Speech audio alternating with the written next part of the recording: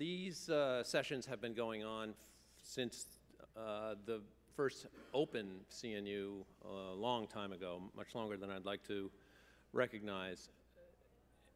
And each of these topics, as those of you who have been in the earlier sessions know, you could do a week and a half on them to do them justice. I'm going to attempt to roll through very quickly so that we can, you can ask questions about the issues that are uh, burning up your brain. First, with the market, there's a difference between who we think we are and who we actually are. When we listen to pundits on television and politicians giving their pitches, we still think of ourselves as this nuclear family, Ozzie and Harriet. Is anyone here old enough to have seen this on television? Okay, well then you know Ozzie and Harriet lived in this house in the Hollywood Hills, which recently resold for five and a half million dollars. Uh, the that house that we're still building lots of, 62% of U.S. dwellings are designed for the traditional American family. Now, if you use the the standard definition of the traditional American family, where Ozzie went to work and Harriet stayed home and their children were a rock star and a circus performer, um, that is now only 7.9% of U.S. households, a pitiful minority, hardly worth a niche market perspective. And yet we're designing houses still, at least in their neighborhood form, for this type of household. Now we know since the 1970s, women entered the workforce in increasing numbers. The dual income household is now the norm. So when we look at just married couples with children, we're at about 22% of all U.S. households. Still below the majority it was in the 1960s when the baby boom was, uh, were babies. Female head of household, 8.5% of all U.S. households. Male head of household is something that was, uh, was a rounding error when I was a kid, 2.8% of U.S. households. Now, this is a chart that Laurie and I put together in 2003 that has, I think we've shown in every pre or most presentations since then. What it does is it looks at uh, two age cohorts, 20 to 29, which oddly enough are the gray bars for those of you who can distinguish color, um, and 50 to 59 are the blue bars, mainly because at the time we put that together, that's how old we were. It is a convergence that these two age groups who have the most propensity to be concerned about the public realm, to want to be involved with community. The young folks just starting out and the older folks having uh, divested themselves of their uh, resident children, or so we thought. And, uh, well, we'll talk a little bit more about that in a moment. But this is the fundamental support for walkable neighborhoods, this convergence of the two largest generations in American history. The baby boomers uh, born 46 to 64, currently uh, a little over 700, uh, 75 million. They were born, uh, they age now 51 to 69, uh, and we look at their impact on age-related institutions. Uh, I was the first baby boomer. My mother tells me I was born nine months and 20 minutes after the Japanese surrendered. And having a last name that starts with Z and being tall for my age, I w- no matter whether they lined up alphabetically or by height, I was always the last guy. Uh, so there wasn't a chair for me in kindergarten, and uh, there wasn't uh, a place for me at uh, my university of choice, and so on down the line. Um, and I'm, i wonder, actually, starting in the in the uh, early 20s, whether there will be enough uh, cemetery plots or crematoria. For those of you who invest long from uh, 2026 to 2054, uh, birth, death is going to be a big industry. But right now, uh, we are empty nesting and in retirement, or what we call retirement, which is actually second, third, fourth career.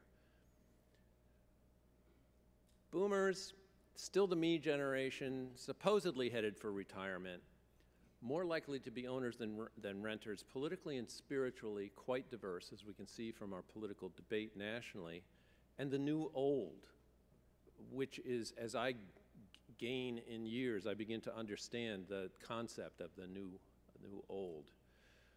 What we like golf, tennis, uh, gardening, the theater, culture, volunteering. What we don't like are 14 year old boys on skateboards, smokers, uh, aging, retirement, and of course, the big D. The second Uh, when we first started giving this presentation about the convergence, the demographic imperative for urbanism, this was the second largest generation in American history, the millennials. But in 2010, they passed the boomers. They're now at 86 million and are going to be influencing us for a long time. I've, I've made a career understanding the baby boomers because for most of my working life, they've been in the driver's seat. They, uh, if they haven't been in the driver's seat, they've been influencing everything culturally, economically, politically. The time has come for the millennials to take over. Now, those of you who are in Gen X are saying, well, what about me? Well, this was a, a, colossal cosmic joke on the part of the demographers who call, who uh, get to call the, the generations. Generation X is only about 10 years long. And it was during a low period of, of birth rates. And demographers will say, well, the last year of the boom, 64, was the last year there were 4 million live births in America. So we cut it off there. Made sense. The first year of the millennials, 1977, first year live births went over 4 million. So that's the beginning of the millennials. So Gen X, I, I, I don't know what Gen X did to demographers to warrant having the, not only the smallest generation in American history, but the shortest generation in American history. We'll, talk a little bit about them later because right now they are uh, the market in, in, in for sale housing at the very least. Looking at this even larger pig in the python, does everybody, is there anyone who does not get the reference of a pig and a python? Just raise your hand. Just, um, when a um, constrictor uh, kills its prey, it swallows it whole, and the pattern on the back of the python or other constrictor is distorted as this pig passes unceremoniously through the alimentary canal of the uh, python. So in this analogy, the pig is the generation. The pattern on the back of the python are age-related institutions. This big demographic cohort, first the boomers, now the larger demographic cohort, the millennials, has a dramatic impact on every age-related institution as it moves through its life cycle. So here we have the life cycles for the millennials, and there the, the, you see question marks. Enter the job market, you know, we're not sure. Married with children, we're even less sure. And, and this is what I'm going to end with are these unanswered questions about what this huge generation is going to do. Look at age at first marriage. Men are now 25% older at, at their first marriage than they were in 1960. Women, fully a third, 33% older at first marriage. Now, the boomers were fabulous at delaying marriage and, de and delaying childbirth. Um, uh, Gen X did the same thing. Millennials have upped the ante dramatically. They are mostly single, highly social, ethnically and culturally diverse, the first generation in American history where whites are no longer a majority. Early unsettled career, largely because of their age, but remember the oldest millennial is now 38 years old. They're more likely to be renters, and we'll talk a little bit more about that. They are very mobile, uh, a group where it is normal to decide what city they want to live in and worry about how they're going to get a job after they move there, as opposed to predecessor generations who are all about job location and relocation. And they are green, and they are sensitive to greenwashing. They will not accept the kind of BS that you see all over uh, the marketing world. You see the guy in the upper right-hand corner? He is so green, he takes his park with him wherever he goes. What they like, this is a little convergence, the great convergence. They like museums, they like yoga and uh, other things that I can't pronounce, um, music clubs, uh, cycling. Uh, they don't much care for hunting. They do like the dog. Fishing, not so much. NASCAR, forget about it. Golf, even more so. And uh, driving, no, not into it. And we'll get back into that a little bit later as well. The two largest generations in American history, one's post-family, one's pre-family, so naturally they're largely one and two person households, to the point where now 60% of American households have just one or two people in them. Um, Two-thirds of home buyers are singles or couples. We got the, the guy, 8 to 12% of home purchases made by single men. Uh, and I want you to look carefully at the decorating options here. now, some of those men are gay men. This clearly is not. Um, 16 to 24 percent of home purchases made by single women, and I con contrast uh, the dog guy with uh, Chintz Girl up there in the upper left-hand corner. Now, understand these are people of all ages, and, and female uh, buyers, single includes divorced, um, separated, widowed. 30 to 32 percent of home purchases made by couples without children, and couples, as you can see from these photos, of every stripe, gay couples, straight couples, interracial couples. And then the big one, this is where Generation X is, is flexing its muscle, 35 to 37 percent by traditional and non-traditional families. Non-traditional families largely being single head of household and most of them are female head of household. But you have all these variations. You have what census calls other family, which is two sisters living together. It's the grand family where grandparents are raising their grandchildren, which for the most part is, is, is part of this tragedy that's that has been occurring in our country for, for so long uh, in the inner cities. So we have this housing stock, 62 plus percent single family detached houses in a market dominated by singles and couples. Then you have the evolving neighborhood preferences. There was a uh, study done in 2004 for the National Association of Realtors, one of the first really well conceived study uh, that did not have confirmation bias baked into it where there was a very strong and clear comparison of what they were talking about in uh, compact, pedestrian-oriented, walkable, mixed-use neighborhoods compared to the auto-driven, isolated, separated neighborhoods that are more the norm. 55% preferred walkable urbanism over a place where you needed to drive for your daily needs. The same firm for NAR redid that study in 2011 and found roughly the same results, 56%, a little bit more. The National Association of Realtors did another study using the same set of questions but a slightly different methodology. So is it methodological differences that went from 56 to 60 percent or truly a, uh, a sea change? Uh, we don't know.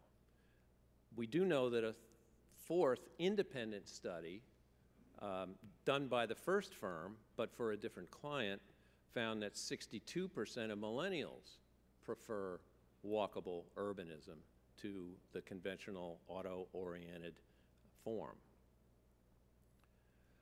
Now, the millennials are going to dominate the nation much after I'm in the grave. You, you, can't see this, I'm sure, but it's 2014 to 2045. And unlike the other dramatic uh, convergence graph, this runs from zero to the top line is uh, 90 million. The green bar are the millennials. The white bar that uh, looks like a ski slope is are, uh, that's us, the the the, uh, the boomers, and then Gen X, which begins to tail off uh, in the last quarter of the uh, of the chart, are the orange bars. Now, millennials have got staying power because they um, are bolstered by immigration. 17% of millennials are foreign born. Now, the millennials are at an age, the leading edge of the millennials are at an age where they should be, according to historic norms, feeding the bottom of the housing, the ownership housing chain. Those first time buyers that buy a house from the move up buyers who move up and buy a house from a move down buyer who then buys a small house or splits that uh, a small house to another house in a in a warmer or um, or, or, better, uh, more attractive location. First-time buyers are not really where they should be. They're at 33% now, and these, of course, are largely uh, millennials um, as opposed to 50% during the time when liar's loans were the norm, and that, that 50% is, is, uh, is no, I'm sorry. I'm, it's a, it's a, it was a, not only a liar's loan, but a, but a lie. 2010 was when that, that brief uh, support from the federal government for first-time homeownership kicked in. And clearly, economists will tell you that when, when uh, or um, conservative economists will tell you that when the government intervenes, it will oftentimes borrow economic activity from the future. And this graph would tend to support that notion that folks who might have bought in 2011 bought in 2010 to get under the, the, the uh, guideline, uh, the deadline. Um, so, um, but I'm not a conservative economist, so I'm not going to make that case.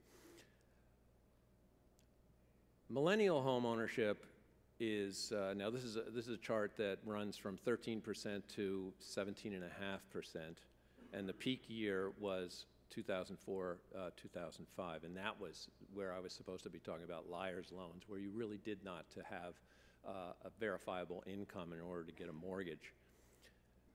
We're down to a very low uh, percentage of uh, folks in the millennial 18 to 34 year olds, which is the core of the millennial generation, who are homeowners. And we're not sure actually what's going to happen with this generation for a number of reasons. They are loaded with student debt, uh, famously over a trillion and 11.5% uh, delinquent or in default. The, the, it is the loan instrument that has the highest default rate of any of the, the instruments, surpassed credit card debt a few years ago. And uh, you need to look at these data very carefully because if you peel it back, you find that there is a significant chunk of it that is for relatively unsophisticated students who have been trapped by uh, for-profit uh, institutions of higher education. Uh, there is also the, uh, a, a, piece that gets well publicized of folks who have advanced degrees and, and are saddled with student debt as well. But a, an alarming percentage of this, and I don't have the actual numbers, but I, last time I saw them, it was really alarming, are folks who went to some university of, of uh, XYZ online or in person, for profit, not the one that just shut down, but I'll bet that's, uh, that's probably a piece of it, and uh, came away without a degree. All they got was student debt. So the home ownership rate, it was chugging along in around 64% for uh, a long, long time. Then you had the, uh, the, the, Clinton surge, the focus on home ownership, and, and uh, the, the Bush continued that. And uh, then you had the crash, and now we're down back to normal, we think, maybe 64%. This is part of a pattern that we're seeing of a move away from the ownership society to the sharing society, which for someone my age is virtually incomprehensible because when I have something, I want to own it.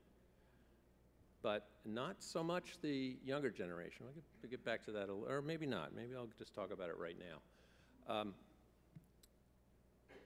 one of the trends, significant trends, obviously is, is toward urbanism in, in our very largest cities where the revitalization, urban revitalization got a real head start on second tier, third, third tier cities.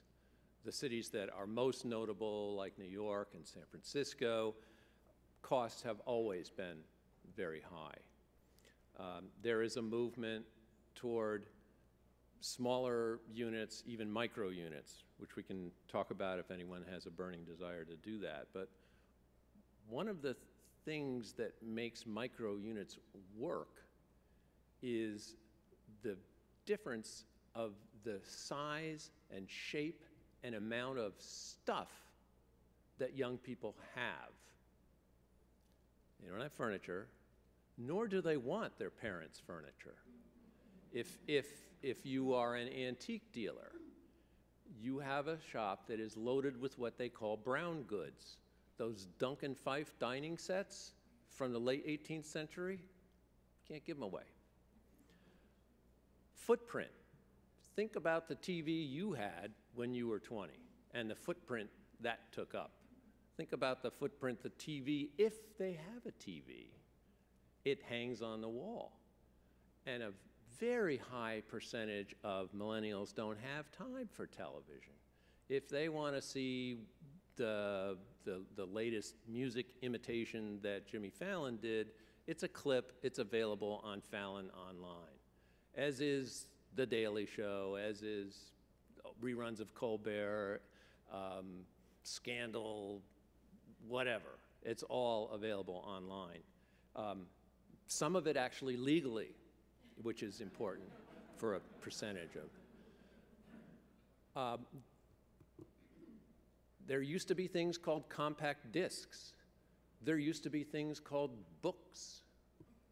All of these things now reside right here. It's, it is amazing. So all of those things that used to take up footprint, stuff, no longer necessary. And the idea of owning, not as important to this generation. Now, I am painting with a very broad brush there are millennials, and because it's such a huge generation, there's a whole lot of millennials that want a muscle car, they want a giant projection TV, they're collecting all of the Marvel comics in original. Um, what else? They have uh, they have a vinyl collection par excellence. Um, actually, these are overlapping groups because the muscle car and the vinyl people do not they do not intersect.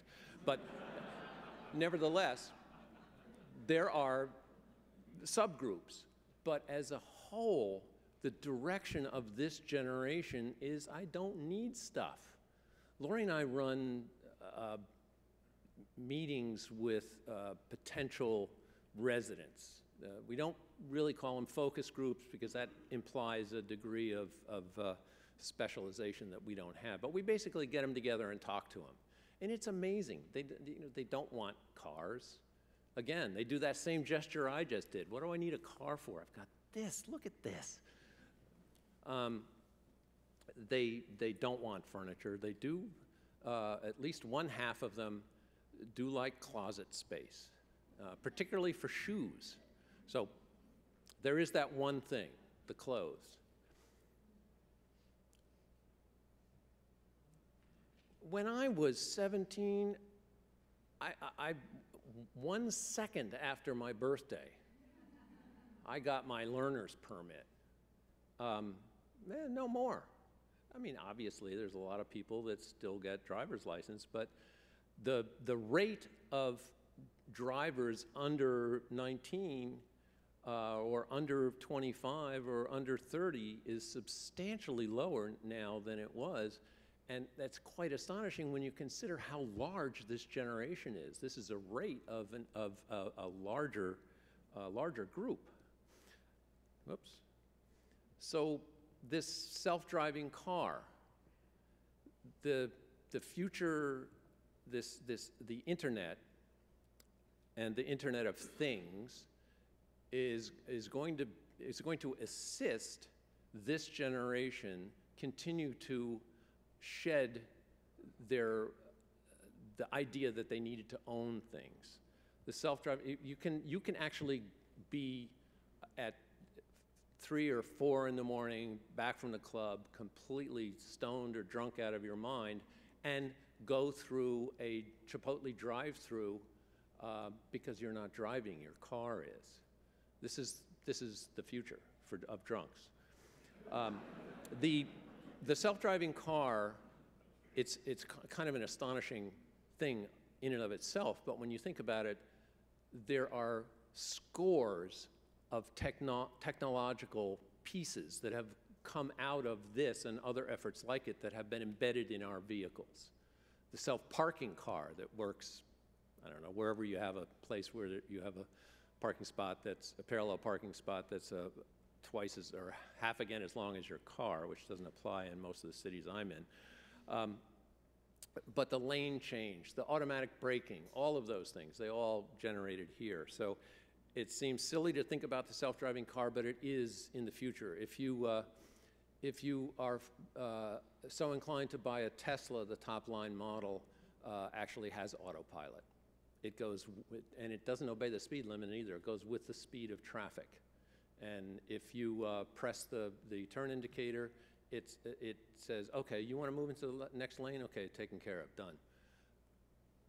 That's now. Now, this mode of transportation is growing uh, dramatically. I have commutation details that uh, I'll show in the next slide. This is one of my favorite slides for the future.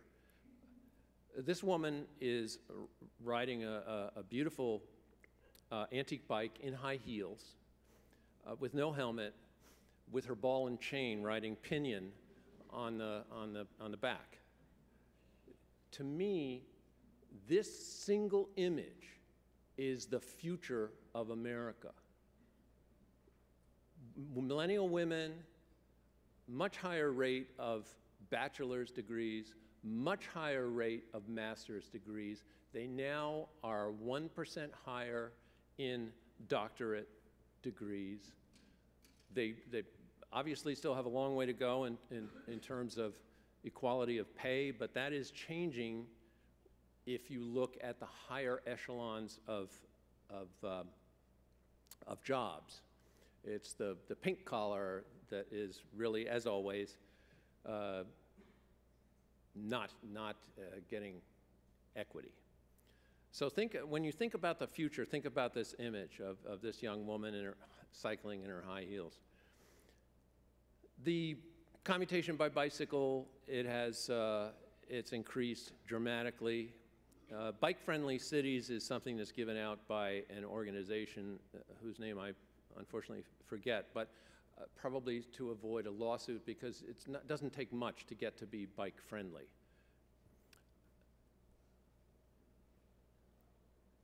This is the thing though, the two, two feet, and this is a picture I took in Kansas City back in the 90s, maybe early, early aughts. Two feet from everything exciting in the city. It's the walkability and the support of realistic transit that will make the difference. This is where the millennials so far have gravitated and where their parents, uh, the boomers, have gone in large numbers as well. So there are a whole bunch of questions that need to be answered. Will the millennials stay in urban neighborhoods when they have children? This is the last, next to the last slide. Um, the question of when they're going to have children, before we, before we pose this question, when are they going to have children? Fertility rates are at their all-time low. They have never, ever been lower in this country. And there are some academic demographers who believe that the depressing effect of the Great Recession, which is the, uh, uh, the fertility rate is always runs counter to uh, economic activity in America, always has. Uh, but there's usually a rebound. You know, the sort of happy days are here again, baby boom, lit. Um, it hasn't happened yet. In fact, it is, it's, the, the fertility rate has continued to drop, particularly among women in their 20s. Now, this is part of a phenomenon of delayed marriage, delayed childbirth. And for a very significant minority of millennials, probably a, a, plurality if you break it out, who that it's not marriage and childbirth, it's childbirth and marriage. So will the millennials stay in urban neighborhoods when they have children? They will be more likely to stay than predecessor generations. The Gen Xers who are in those mature urban neighborhoods have already made that commitment. They are staying, they are fighting with the schools.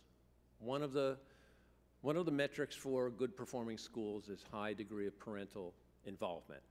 And uh, they are involved in a high degree. Here you see the uh, just sort of the tip of the iceberg of the hipster stroller wars that continue in Brooklyn. Um, but walkable neighborhoods at every scale, and that includes the other end of the, of the transect, the T3 or whatever, the new neighborhoods. This is Norton Commons in, uh, outside, of, uh, outside of Louisville. There are neighborhoods like this in all of our great cities, too, that are walkable to uh, places of commerce, places of entertainment. So we believe pretty strongly that the uh, millennials will continue to stay in those neighborhoods. In, in some of those groups that we gather, asking them about their long term, there's a small minority, but a vocal minority who are actually quite angry about having been raised in the suburbs, the perfected suburbs of the 70s, where all the grass grows in the same direction, and it's a rite of passage to move beyond your cul-de-sac on foot or on two wheels, where every date is, is every playing opportunity is arranged and organized, and until you turn 16 or 17, you are hostage to someone with a driver's license um, which in the worst case is an older sibling. Those people are really angry about that upbringing and say they would never subject their children to that kind of upbringing. So we will see.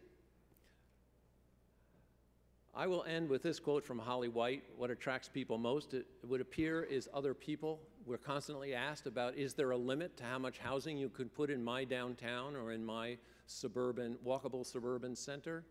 And uh, I believe, absent any other metrics, the answer is no. The more people you have, the more people will want to be there.